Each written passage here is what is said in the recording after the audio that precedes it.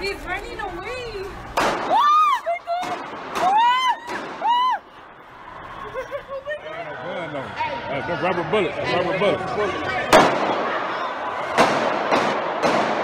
That's a gun.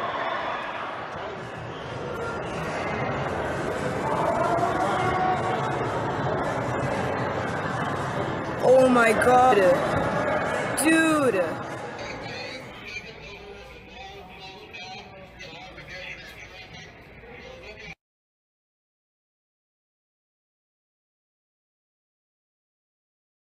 Because I'm downstairs and I was scared. I'm downstairs. So let alone you know what's going on upstairs. While, while, while I have you here, where'd Sumo go? Okay. Sumo, You know, in in this day and age, we often are um, mindful of the way police handle cases. So in your estimation, in your estimation, as as a is a former police officer or yes. Yeah, former, former, back in the day. How would you judge how the officers here handle? Number one, I was glad that the officers showed up because I, I was on the other side. I'm sitting down, I'm watching, and I'm saying, how in the heck are we going to get out of here?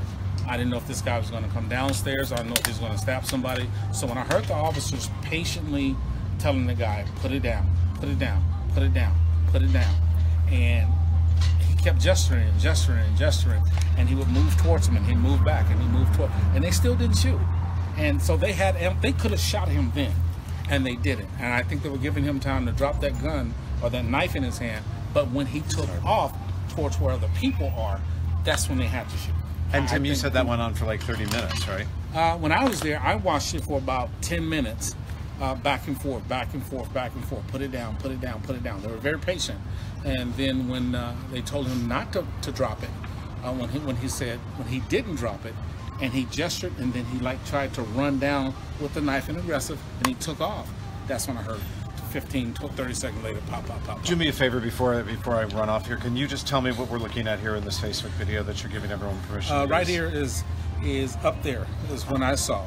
And by this time, I don't know if there's officers coming from this way and this way, so I'm thinking that bullets going to fly this way. So I get my butt on the ground, and I'm, and I'm listening, and I'm saying, okay, now they're going to have to take him out because uh, either the officer's going to get hurt or somebody else in there is going to get hurt. So I know I have officers coming from the backside, I know they're coming from the other side, and so uh, when I heard, when I heard them, I said, just just get them, catch them, whatever you have to do.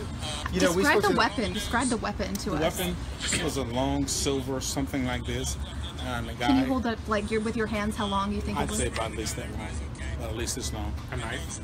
Yeah, a knife, machete type type situation, and uh, and, and when So I you're a former officer. What would you call it on the force if you saw that? call it a, a weapon dangerous enough to kill me or hurt me or hurt me.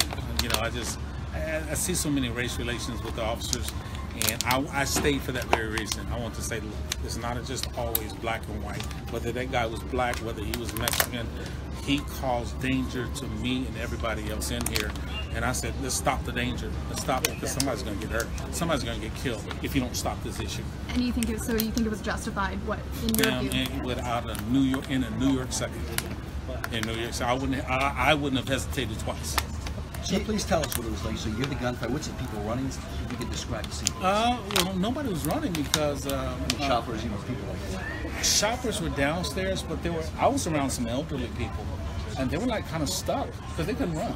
So they were sitting and they're saying, and the lady said, "They got to do something. We're stuck in here. We're stuck. We're stuck." And they kept saying that, and I, and I I said, "We got to do something." And uh, and when again, when the officers came, I felt a major, major, major relief.